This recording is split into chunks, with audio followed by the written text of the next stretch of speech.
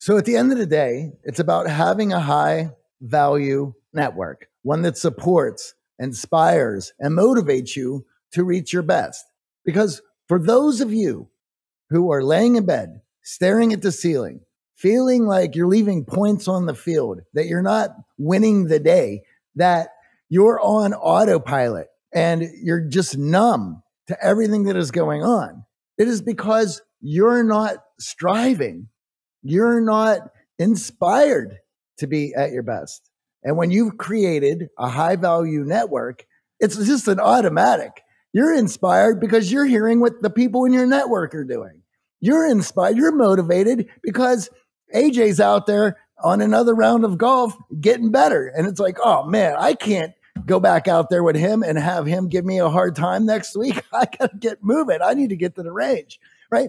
All of these things have an influence on you.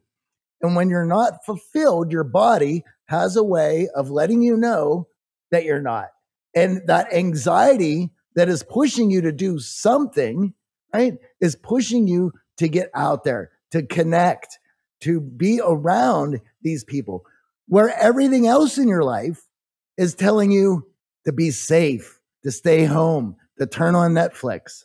Just putting yourself in the arena and just surrounding yourself with like minded people and going and taking action in a social realm in these areas that we talked about is not enough. Hope is not a strategy.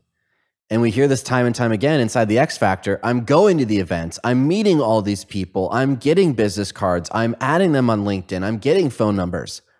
But what do I do? How do I actually turn that into something? I have a great conversation, but that doesn't lead necessarily to a great relationship. And relationships take time and vulnerability. That's the secret sauce. So, how do we create time and vulnerability? And this is going back to our social sales funnel. The second step, after you've made all these connections, you've met all of these people, you've reconnected with old friends, is you host an event.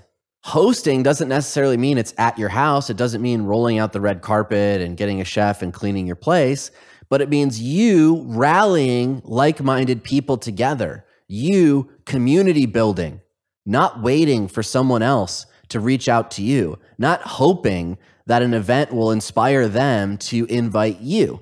I'll give you another great example. A client of mine is a huge college basketball fan. Now, a lot of his friends in the city that he's in have other teams that they support. They didn't go to the same college as him, but it's March Madness. Everyone's watching college basketball. So he decided to take Friday off and park it at a sports bar. And he just invited all of his friends to come join him for as long as they can, take a long lunch, come after work. He's going to be watching college basketball all Friday night. That is a way to invite people into your life, to get them inspired to hang out with you. It takes a little bit of planning. It takes you setting aside the next two weeks. What are two or three things I'm going to be doing and having those plans in your back pocket. Now, the key to these plans are what would you enjoy doing even if no one showed up? If no one showed up to watch college basketball, is he going to have a good time? Yeah, he's out at the sports bar. It's social. The game's on. He loves doing it. He doesn't need 40 people to have a good time. He doesn't need everyone to show up to have a good time. But having that invite, the power of the invite, not only signifies to the person you just met, I want to spend more time with you. I want you in my life, but it allows them to think of you the next time that they have something coming up. Oh, I should invite AJ. Oh, I should invite Johnny. And Johnny invited me to the show. I couldn't make it, but I'm going to see this metal band. I'm going to invite Johnny. It brings you to a position of top of mind because you're taking action and inviting people into your life. Now, why I love group activities.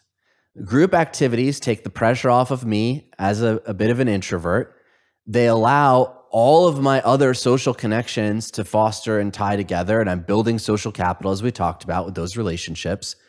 And it saves me on time. I don't have enough time right now to go to six dinners a week, to spend four nights out one on one with someone, having lengthy lunches, or going on a two hour hike just one on one. I don't have that time to dedicate right now with everything else in my life. But can I get three people together on the golf course for a foursome? Absolutely. Can I get three friends to join me for a Barry's Bootcamp class and then have a, a shake after or grab a healthy lunch after? Absolutely. So by leveraging the group activity, I'm leveraging my time in a meaningful way. And if someone had a great time at that group event, if I found that this new person I met loved golf as much as me, then I'll invite them out to dinner for one on one time. I'll follow up with them after that great group hang to invite them over to watch the game, to invite them over to have dinner with me. So, what I'm doing is I'm meeting new people, top of funnel, for those of you who love sales and marketing like us.